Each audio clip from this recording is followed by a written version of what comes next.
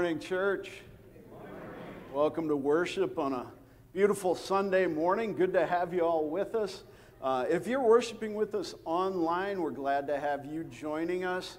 Uh, if you would just say hello in the comments and let us know you're there, we would, we would be very happy if you would do that. We also have this tradition, uh, not sure again where it came from, but uh, we give our online community a wave on Sunday mornings just to let them know that, uh, that we acknowledge that they're there, we know they're there, and, and we appreciate that uh, even though distance uh, separates us, we are all uh, the family of Christ and we are all uh, worshiping together as, as family. So if you're here in the sanctuary, at one end of the pew or the other, you'll see a blue pad. If you would fill that out at some point, that's our connection card. Uh, if you would fill that out at some point, we would appreciate it. We want to know that you worshiped with us as well. Uh, it's also a great way to update contact information or to share uh, joys and concerns or uh, other information with the pastoral staff here at FPC. Uh, for those of you in the sanctuary, everything you need for today's service will be projected on the screen. Otherwise, uh, there are some bulletins at the back of the sanctuary if you want one of those. Uh, there are also Bibles and hymnals there in the rack uh, in the pew. If you like to have the Word of God in your hand during the service, or uh, you want to have the, the words and the notes, uh, that's there for you as well. A couple of announcements as we get going this morning. Uh, tomorrow morning at 9 o'clock, uh, is the funeral for Shirley Jennings. That'll be here in the sanctuary. Again, tomorrow morning at 9 o'clock. And then on Monday, uh, March 4th, uh, we'll have Mary Weber's funeral here. Uh, Fred and Judy, our sympathies to you. And uh, so that'll be at 11 o'clock here in the sanctuary, 10 o'clock visitation. Uh, so please mark that on your calendars as well. as far as things today, uh, we have our Entering the Passion Bible study that'll meet in the chapel following worship. Chapel is downstairs in this corner. If you take the stairs down through the social hall, uh, you'll find it. Uh, if you don't want to come to the class, you can always join us for coffee and goodies. Again, down those stairs and, and into the social hall, and we'll have a time of fellowship uh, and an opportunity for conversation. Uh, we have a midweek meal here at FPC. It's Wednesday nights at 6 o'clock. Uh, if you're looking for an opportunity to uh, have a meal with church family, uh, you're invited to attend. Anybody's invited. Uh, at 6 o'clock downstairs in the social hall. We just ask that if you are going to come, you call the church office or email the church office and let us know you're going to be there so that we make sure we have enough food uh, to feed everybody. But we would love to have you join us for that midweek meal. Um, thank you from the Helping Hands store. You'll see there a total of 2,251 diapers and a large box of wipes. Uh, fortunately, I don't remember what it's like to buy those uh, anymore. but uh, thank you to everybody who, who contributed. Um, a directory of members is available at the back of the sanctuary and then uh, you can read the other announcements there as you have time. Uh, see, that's all I have. Uh, let's uh, take a minute to reach out, greet our neighbors, and, and we'll get going with worship.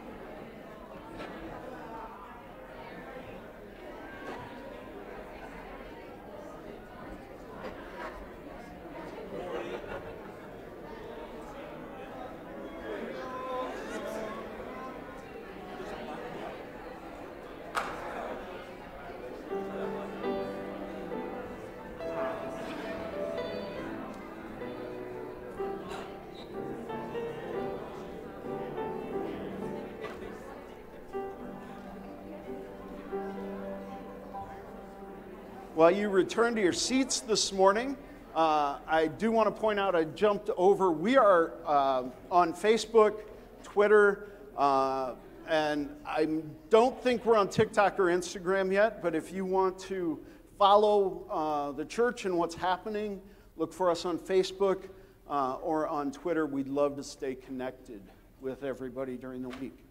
Uh, here at FPC, we believe church isn't really about um, religion or, or dusty doctrines, the way we think of uh, typical church or historic church. Instead, um, we like to think it's about relationships. It's about our relationship with each other, it's about our relationship with God. Uh, the most important thing we do as a family of faith is love God with all our heart, soul, mind, and strength, and love our neighbors as ourselves. Um, we want this to be a safe place for people to ask questions, for you to express doubts. Uh, we don't run away from those things. In fact, we embrace those things because as we talk about that stuff, um, that's how we grow closer to each other uh, and to God. Uh, that's how we grow in our faith uh, and our spiritual life. So we don't shy away from those things, we embrace them. At FPC, we uh, affirm the worth and value of all people. So it doesn't matter who you are, where you've been, what you've done, who you love. Uh, you are welcome in this place. We are an open and affirming congregation. And so we would love to have friends and family join us uh, for worship and, and fellowship and, and to be able to support one another on this journey of faith. Uh, you will find no judgment here, just grace, mercy, and love. Uh, today we enter worship with the words of Isaiah 56, verses 6 and 7.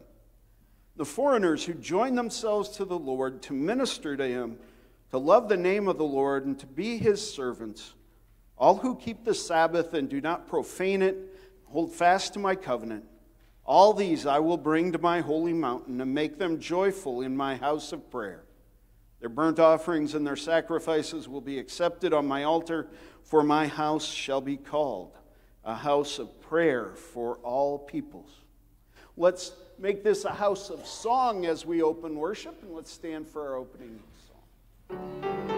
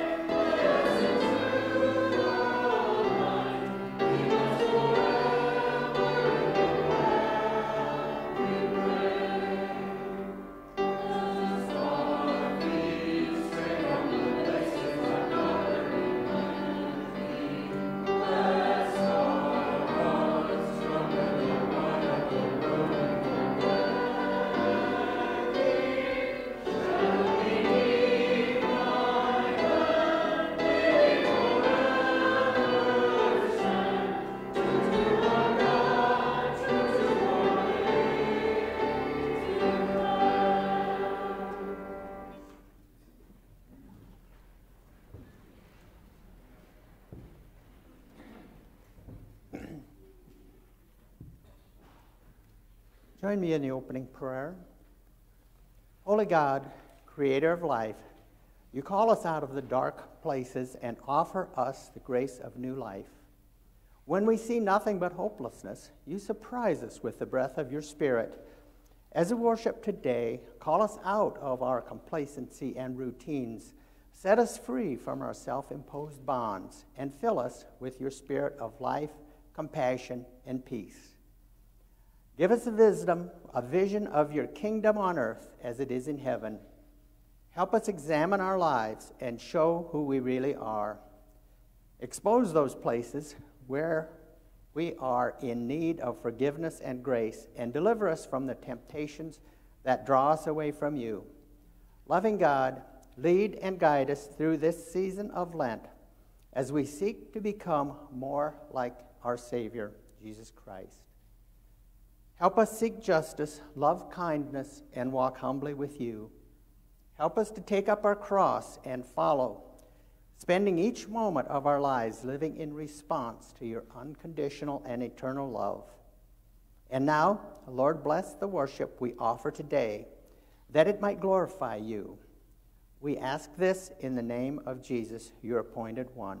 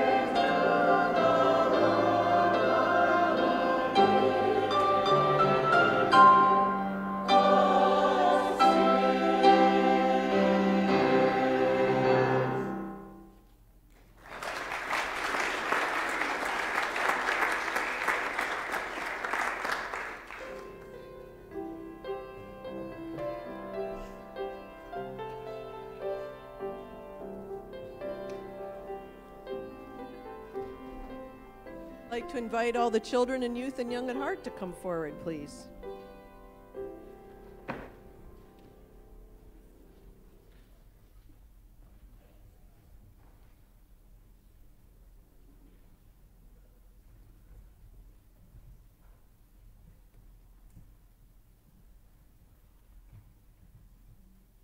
Good morning, everybody. It's good to see all of you today. So, one of the things that we believe is that Jesus was 100% human and 100% God. Um, and when we say 100% human, we know that Jesus knew what it was like to be a human being.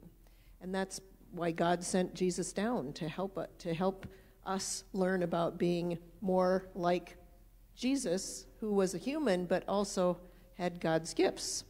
And when you're 100% human, you have all kinds of different emotions, right? You feel happy, you feel sad, you feel hungry, you feel frustrated, sometimes you're mad. There's all kinds, you feel joy and excitement. All of those were emotions that Jesus felt. And sometimes we like to think of Jesus as this guy who kind of walks around with a stoic look on his face and really has no emotion. But one day he got really, really angry and he was at the temple and he saw all of the business that was going on at the temple because in the Jewish faith they believed there were certain things that needed to be done um, to help practice their worship. And one of those was to buy animals to sacrifice, and one of those things was to trade in their Roman money for temple money so they could give offerings. And so they had booths outside with all these things going on so that people could buy animals or trade in their money or do what they needed to do in order to go in and worship. And what made Jesus mad was that sometimes those things, the way that they were worshiping, got in the way of why they were worshiping. And he got really, really angry. And he took a whip and he knocked over the tables and he let the animals go and he called the place a den of thieves that sounds pretty mad, right? He was trying to tell people that you are not remembering why you worship.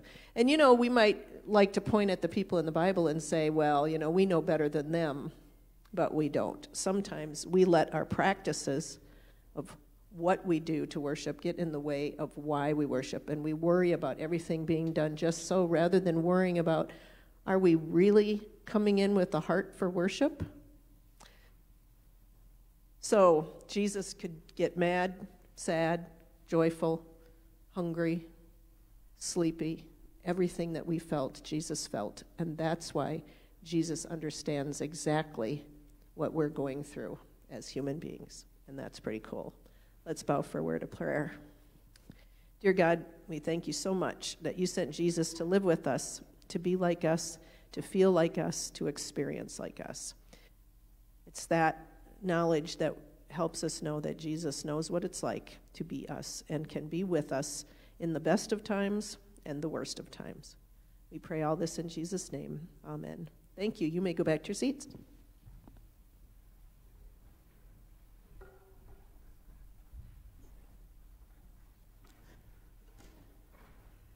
The eternal question what does it mean to be fully human and fully God? I love to think that Jesus had an incredible sense of humor. Um, you read some of the stuff he says, and he has to have had a beautiful sense of humor. Um, if you are not easily offended, I recommend a book called Lamb, L A M B. I cannot remember who the author is, but there's this great scene in the book where Jesus is a child and he's playing with uh, a lizard, and he keeps crushing the lizard and bringing it back to life. Um, you know, I like to think Jesus had a sense of humor. Uh, since we have a sense of humor, although, as Sarah said, Jesus did have days where uh, that weren't so that weren't so good. So, during Lent this year, we are working through a series of messages based on the book "Entering the Passion: uh, A Beginner's Guide to Holy Week" by uh, A.J. Levine. Um, early Christianity used this Latin word, passio, uh, to describe the last week of Jesus' life. And I mentioned last week um, that in early Christianity, that Latin word uh, was translated as suffering. Uh, and it's carried down through the ages. And in Latin, that is what passio means. However, in modern English, uh, the word becomes passion, like dedication or devotion, something we love. If we look at the life of Jesus, three things stand out that he cared the most about. Uh, he cared about justice, he cared about human flourishing, and he cared about the kingdom of God coming on earth as it is in heaven. And it was that passion that led to his suffering and death. And there is no doubt uh, Jesus suffered greatly at the hands of the Romans. But in more modern English, we need to look at what that word means now. And last week we talked about Jesus risking his reputation uh, by leading a, a, what was basically an anti imperial protest parade into Jerusalem. Today we're going to talk about Jesus risking, his, uh, risking righteous anger as he enters the temple and as, uh, as Sarah told the kids, drives out the money changers and the vendors. Uh, it looks to us from a very high level like an act of anger, maybe even bordering on rage. Uh, for centuries, that's how the church has uh, envisioned this scene. Uh, and we've tossed around multiple reasons why Jesus seemed so angry. You know, the vendors must have been cheating the poor. Uh, the religious leaders were uh, uh, working with the Romans. Only the righteous were being allowed access to God. Anybody else taught something like that at some point? Uh, and that's why Jesus was so mad. Um, I'm going to challenge uh, a little bit of that today. Uh, before I do, let's bow for a word of prayer. Merciful God, help us to seek you and the message you intend for us in your word read and proclaimed today. Amen. Well, all four Gospels Matthew, Mark, Luke, and John uh, all four Gospels tell this story of Jesus entering the temple and, and doing what we call cleansing uh, cleansing the temple. Uh, Mark was the source material for Matthew and Luke, so we call those the synoptic gospels. Synoptic is just a fancy way of seeing together, saying seeing together. But why say seeing together when you can say synoptic, right? Um, John, on the other hand, is really, really different from Matthew, Mark, and Luke. Uh, mostly because, well, it's John, and John's a little wackadoo. Uh, John's a little bit like that crazy uncle that comes for Thanksgiving and Christmas. Uh, but each author was, was basically sharing what they thought their audience needed to know. Uh, and for John, what was important was the spiritual side of Jesus. Uh, John was concerned with uh, that divinity part. Um, if you have your Bible or you want to follow along in a Pew Bible, we're going to look at uh, uh, Mark mostly today, but we, we, may talk a little bit about John. Uh, we're going to start with Mark 11, verses 12 through 19 on page 823 uh, in the Pew Bibles. Church, listen to what the Spirit is saying to us today. On the following day, so that's the day after Palm Sunday, on the following day, when they came from Bethany, Jesus was hungry. Seeing in the distance a fig tree in leaf, he went to see whether perhaps he would find anything on it. When he came to it, he found nothing but leaves, for it was not the season for figs. He said to it, May no one ever eat fruit from you again. His disciples heard it. Then they came to Jerusalem, and he entered the temple, and he began to drive out those who were selling and those who were buying in the temple. He overturned the tables of the money changers and the seats of those who sold doves. He would not allow anyone to carry anything through the temple. He was teaching and saying, Is it not written, My house shall be called a house of prayer for all the nations? But you have made it a den of robbers. When the chief priests and the scribes heard it, they kept looking for a way to kill him. For they were afraid of him because the whole crowd was spellbound by his teaching. When evening came, Jesus and his disciples went out of the city. So, fun fact uh, this scene takes place uh, during the Passover, so one of the uh, big holidays in the Jewish faith, uh, but it happens in March or April. And in Jesus' day, anyone and everyone would have known, as Mark puts it, it was not the season for figs. That includes Jesus. Uh, but Jesus is hungry, and he expects the tree to have fruit on it for him because, well, you know, he's Jesus, right? Uh, but it doesn't. And when he doesn't find any, he curses this tree into permanent barrenness. Uh, anybody else think that sounds a little bit like an abuse of power? Uh, or maybe, honestly, maybe like a petulant, angry child who isn't getting his way. Well, Mark has a reason for telling the story that way.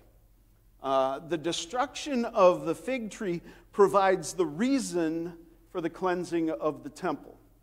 Uh, neither the tree nor the temple are bearing fruit, uh, Jesus expects them to bear fruit. Um, and when he, when he doesn't find any, he curses the fig tree. And then he goes and turns over a couple of tables in the temple. Um, what we're looking at are symbolic acts rather than practical ones. It wasn't like Jesus was cleaning the temple out for eternity. Uh, no more buying, selling, anything like that. Um, it, it was not a practical act, it was a symbolic act. To understand why, we have to understand some things about the temple. So uh, it's kind of small, but hopefully you can see. So the temple was actually about the size of 11 or 12 soccer fields laid end to end. So this place was huge.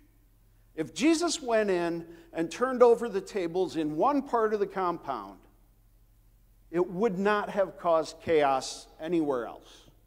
Uh, the temple was made up of multiple courts. There in the center is what they called the Holy of Holies. Uh, this was, as you might guess, the most important place in the temple. Only the high priest could enter this court and only on Yom Kippur, which is the Day of Atonement, uh, only the priest could go into the Holy of Holies and ask God to forgive Israel's sin. If the priest came out, that was a good thing. But if the priest died in the Holy of Holies, not such a good thing. Uh, I don't know if there's any case in Scripture uh, or in history where the high priest died in the Holy of Holies, but that's the way it was set up. Uh, the, the high priest may or may not come back out. And if he doesn't, well, Israel's sins are not forgiven. Uh, the temple at the time of Jesus served many different purposes. Uh, it was a house of prayer for all nations. It was the site of three pilgrim festivals uh, Passover, Shavuot, and Sukkot. It was a symbol of Jewish tradition. Think uh, the Statue of Liberty. It was the national bank, and it was the only place in the Jewish world where you could offer sacrifices to God. If we think back to Luke chapter 2, after Jesus was born, uh, Mary and Joseph go to fulfill the ritual requirement of sacrificing a pair of pigeons or, or turtle doves. And where they go is the temple in Jerusalem. The temple was not like church as we think of it, uh, it was a tourist attraction, really. Uh, it was always crowded, it was always noisy. Since it was Passover, uh, the people would have been celebrating, so it would have been even more boisterous, even louder than normal. Uh, a fun place, I guess, to hang out and meet your neighbors and relatives. Uh, the outermost court of the temple was called the Court of the Gentiles. Uh, this is where the money changers and the vendors would have been set up in that court of the Gentiles. Uh, when pilgrims came to the temple, they brought money from their region, Roman money, uh, but only a special Jewish currency could be used in the temple, uh, what they called Tyrolean shekels. Uh, so these folks had to exchange their, their Roman money for Jewish, special Jewish money. Uh, it's just like, think, just like if we traveled to another country. Uh, also, Jews coming to make sacrifices on a pilgrimage to make a sacrifice in the temple did not bring the animals with them. There was too much chance that the animal might hurt itself, something might happen to it, it might run away on the way there. Uh, and the animals that were used in the temple had to meet some specific requirements. Uh, so folks didn't bring those animals with them. Uh, they were bought at the temple, not brought to the temple. Uh, and there's no indication that people were being cheated by uh, the vendors or the money changers. Um, what we do know is that uh, uh, the money changers and the vendors basically had to be there. Uh, they had to be there if uh, Jewish pilgrims were going to fulfill their religious obligations. So either Jesus was having a really, really bad day, or there's more to the story. And just a hint, it's more than, there's more to the story. Uh, in the Sermon on the Mount, Jesus tells the crowd, and this is back in Matthew chapter 5, verse 22, Jesus tells the crowd, I say to you that if you are angry with a brother or sister, you will be liable to judgment. Now, think about that as you think about Jesus' anger in the temple. Was the anger Jesus expressed in the temple contradictory to that teaching? Was it wrong? Was Jesus saying one thing and doing another? If he was, is, is it right for us as his followers to express anger and outrage the way Jesus did? So, personal story. Not an easy one to tell uh, because I still find some uh, I have feelings around it, and I'm not trying to process that. But uh, when I was about 11 or 12, uh, I was playing backyard baseball uh, with friends. The neighborhood bully was pitching. Now, he and I hadn't gotten along since probably we were in the womb. Um, if you'd asked me back then, I would have told you I hated this kid. And he would have said the same. Uh, now, I know we're supposed to love our neighbors as ourselves, but as a child dealing with bullying, uh, that's a hard thing to do. Well, as I stepped into the batter's box, uh, he called me something that, well, it isn't for polite conversations, and it's not a word we use in church. I did a childish thing, and I responded uh, in kind. I responded right back to him. Well, I stepped into the batter's box. I looked down at the plate, and as I was bringing the bat up and turning my head to look for the pitch, the ball hit me square in the mouth. I ended up with a fat lip and some loose teeth. Um, when I got up, the bully was, you know, doing what bullies do, pointing, laughing, and making faces. Uh, I was madder than I think I've ever been in my life. Uh, and it wasn't just anger. It was rage. Uh, I grabbed the bat and I started walking toward him. And suddenly, what had been laughter became fear. Uh, and I'll never forget the look on his face as he turned and started to run. Well, that wasn't good enough for me, so I took the bat in both hands and launched it at him. Uh, unfortunately, my aim with the bat was as good as his aim with the pitch, and it caught him on the back of the head. Uh, four stitches later, I find myself standing in the dining room of his house with my mom, who is angrier than I've ever seen her in my life, and this kid's irate father. Uh, and of course, it wasn't the bully's fault. Uh, he claimed it was an accident. He thought I was ready. Uh, the pitch had gotten away from him. Uh, didn't matter that he'd knocked my teeth loose. I had drawn blood. I was forced to apologize, and when we got home, boy, was I punished. So there are different types of anger. Uh, there are different ways of showing anger. Now, anger is a normal human emotion. It's okay to be angry. We can control anger. But there are times when anger turns to wrath. That's anger that's out of control. It's rage. Maybe it's even hate. And wrath can lead to a desire for revenge. That's where I'd put my anger that day in the backyard. Uh, but Jesus' anger was different. Uh, in Mark chapter 11, verse 17, Jesus alludes to two passages from the Hebrew scripture. Uh, he says, Is it not written, My house shall be called a house of prayer for all the nations?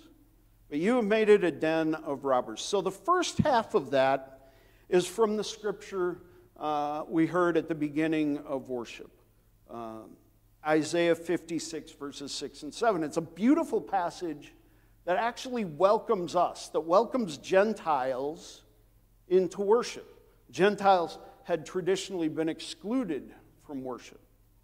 Uh, the second half is from Jeremiah chapter 7, verses 9 through 11. The prophet says, Will you steal, murder, commit adultery, swear falsely, make offerings to Baal? Will you go after other gods that you have not known and then come and stand before me in my house, which is called by my name, and say, We're safe, only to go on doing all these abominations? Has this house, which is called by my name, become a den of robbers in your sight? You know, I too am watching, says the Lord. Whenever Hebrew scripture is quoted in the New Testament, uh, you have to go back to the Hebrew scriptures and look at the context of that. And if you want to understand uh, the context of the New Testament passage. Uh, so the house, uh, as we know, is the reference to the temple. Uh, so, den of robbers or den of thieves, as Sarah said. Uh, that's where we get this idea that the money changers and vendors must have been cheating people. But that is not what Jesus means. That's not what Jeremiah means. Think about that phrase, den of robbers. The den of a robber isn't where they go to rob people. The den of a robber is where they go once the crime is committed. It's where they feel safe from the authorities. Uh, it's where they, they count up their loot and brag about what they've done.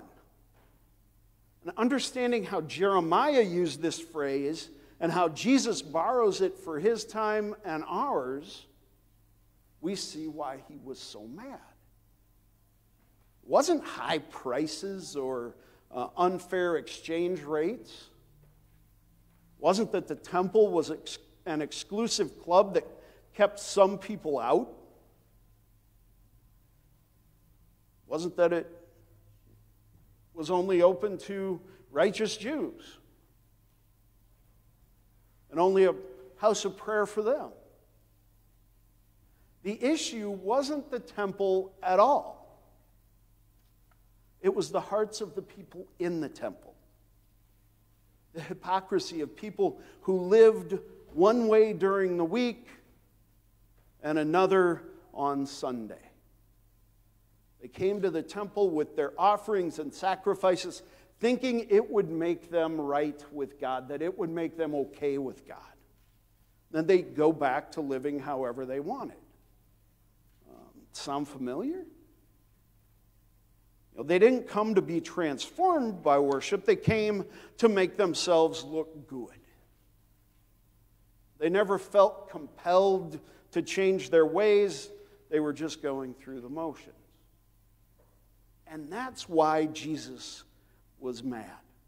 Jesus' anger uh, wasn't wrath, it was righteous. Righteous anger seeks restitution rather than revenge. Righteous anger seeks correction instead of retribution.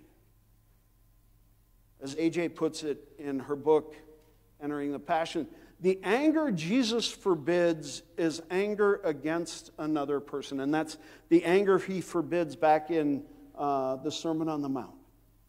The anger Jesus forbids is anger against another person. But he does not forbid anger against systemic evil hypocrisy, exploitation, harassment, molestation, drug pushing, and so on. Such forms of injustice should make us angry, which should lead to constructive action. So Jesus was angry at people who offered empty gestures and performed rituals that had lost their real meaning and purpose. People who felt like they were safe living one way during the week and then living quote unquote good on the weekend, or on Sunday at least, because Friday and Saturday, well, we know what happens on Friday and Saturday. Nothing had been changed inside these folks. Nothing had been transformed. Now, is it any wonder that some of the religious leaders were scared. It's no wonder they wanted Jesus dead. In risking righteous anger, Jesus was challenging empty religion and hollow faith because those things separate us from God. Uh, Congressman and civil rights activist uh, John Lewis would have said that Jesus was getting in some good trouble.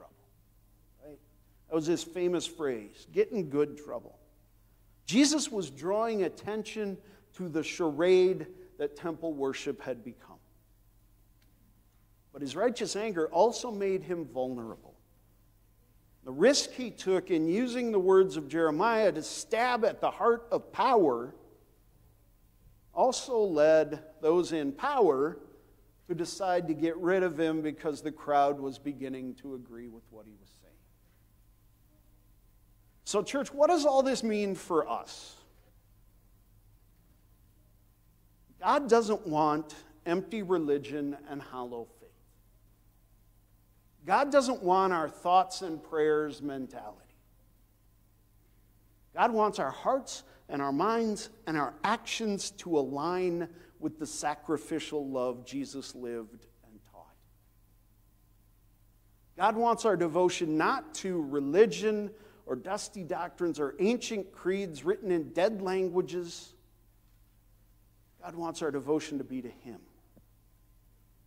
God wants authentic faith that doesn't live one way on Sunday and the polar opposite the rest of the week. To put it in that old phrase, God wants us to walk the walk, not just talk the talk.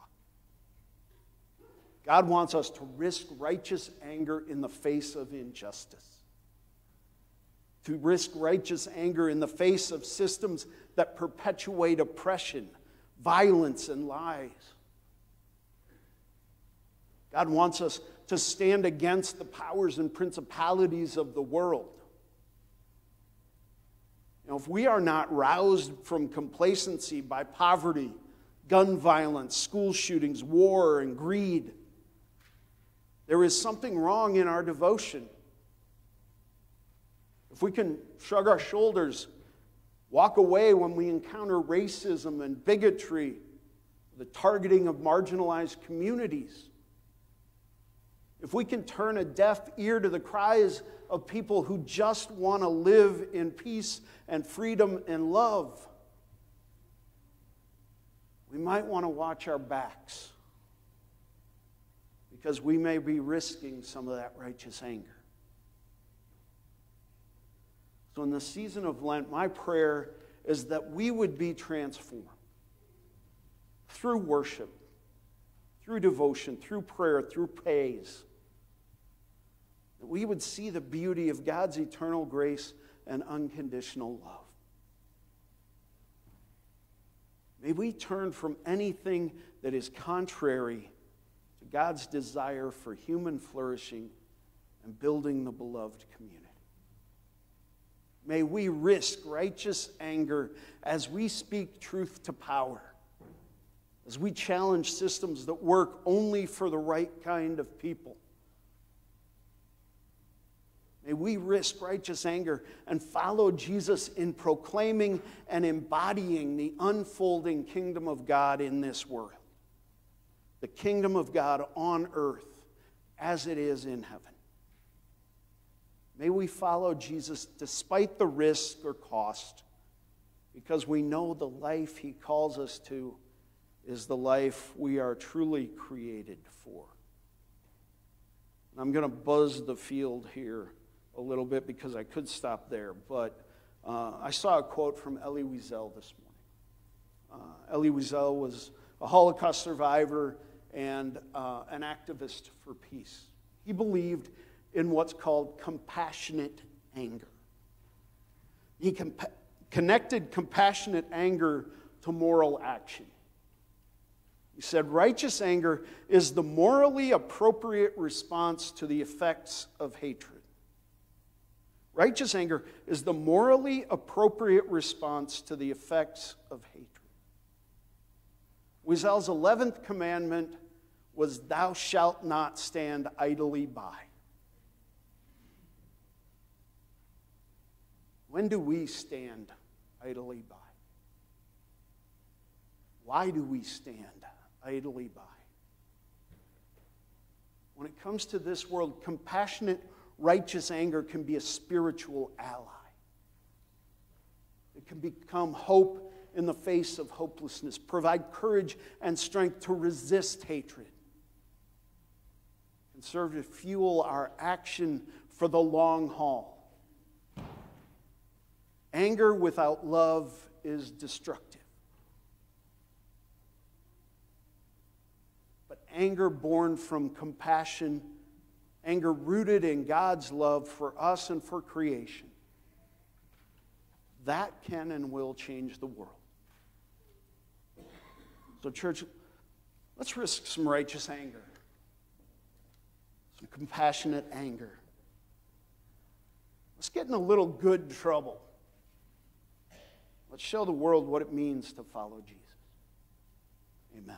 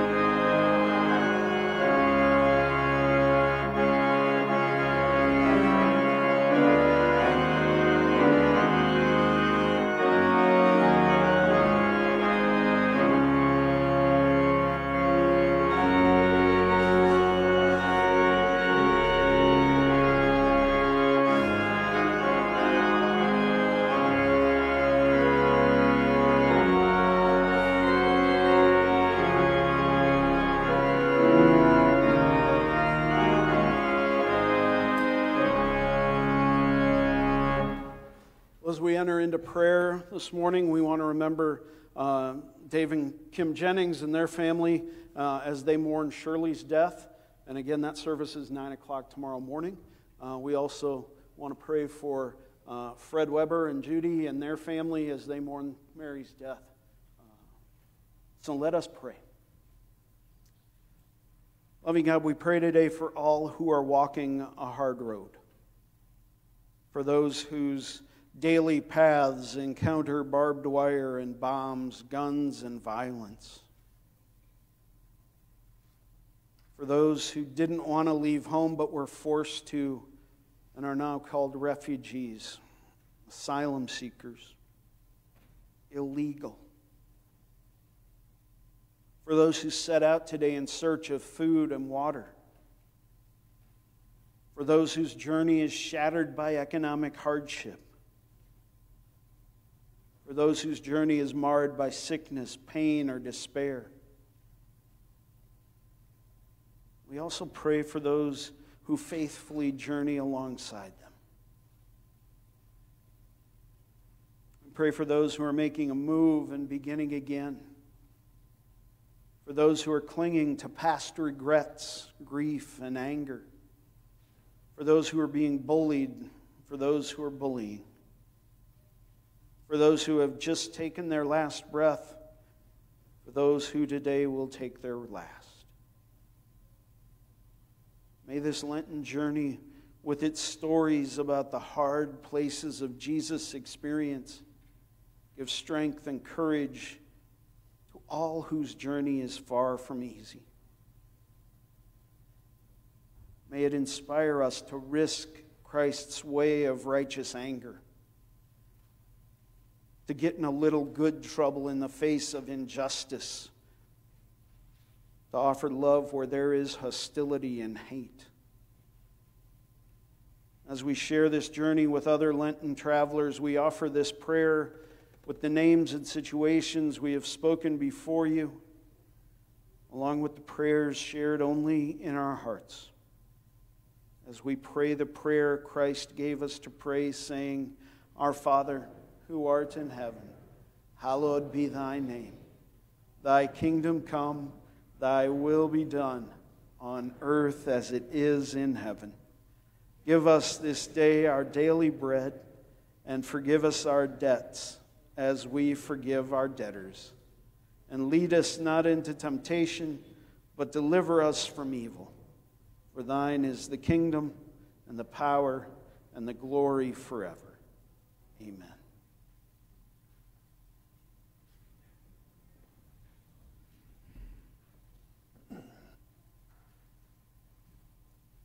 Whenever we confess our faith, we tell the world who we are and whose we are.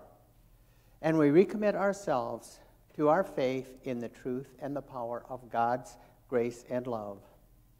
Please join me as we speak the words of our affirmation of faith. I believe in God, the Creator of heaven and earth, who gave us free will and entrusted a special. I believe in Jesus Christ, the Son of God, our Lord, who was born of Mary, a humble woman, refusing to seek power and turning away the sword. Jesus died for us, the Lamb of God. He rose again on the third day, bringing life and hope to all. I believe in Christ's humble spirit at work among us and beyond us before us and after us. I believe in a church comprised of sinners and saints, and perfect in the name, yet blessed to be the body of Christ. I believe in the forgiveness of sins, the resurrection of the body, and the life everlasting. Amen. God calls us to lives of grateful generosity. Let us praise the giver of all good gifts through our offering today. If you would like to make a gift to FPC's ministry, as we seek to be faithful to God, offering baskets are located in the front and the back of the worship space. Your offering can also be mailed to the church or dropped off in the church office. There is also a giving button on the FPC website. Your generosity and faithfulness are deeply appreciated. And now, please join me in the dedication prayer. Let us pray. God of grace, you provide us in amazing ways. May our offering today provide for others and be used to further Christ's ministry and mission. Amen.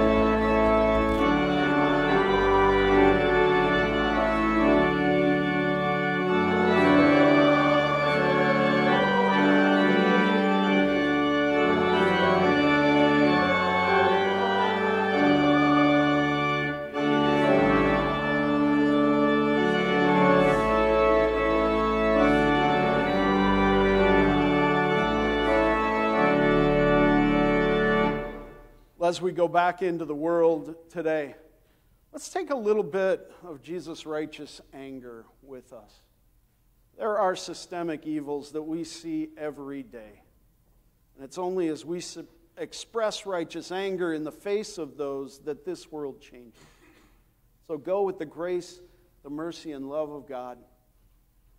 May the joy of Christ be with you all.